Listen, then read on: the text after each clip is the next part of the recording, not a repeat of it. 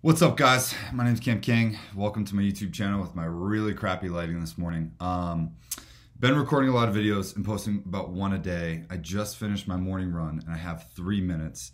There's a quick concept I wanted to get through today, right?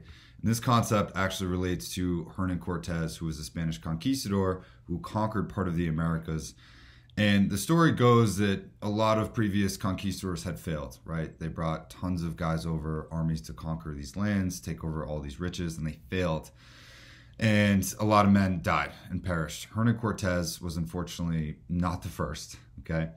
And he was coming in the wake of the steps of a lot of these failed conquests, okay?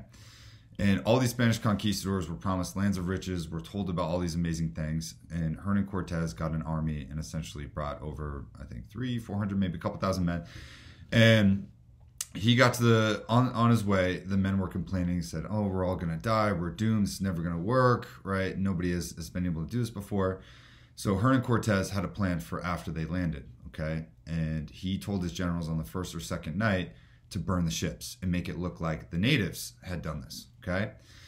And Hernan Cortez was a smart guy, right? He didn't want to deal with the mutiny, so he gave his army, his men, no way out. Okay. This is the concept of burning the boats.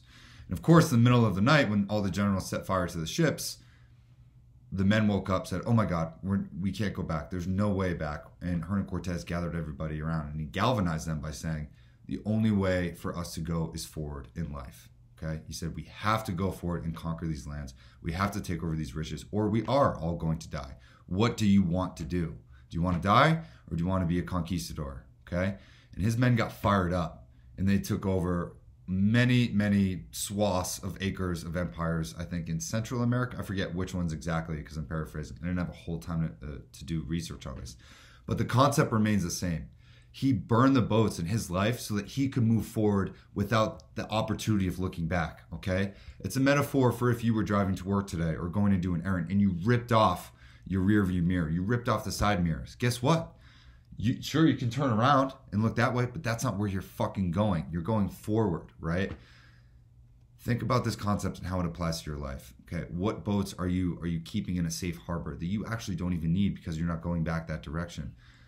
Think about this. I really want you to think about this. I'll post this video later. Let me know if this resonates with you. I got to jump to another meeting, unfortunately. But think about this concept of burning the boats. What boats in your life can you burn to get ahead and move forward today? See you later.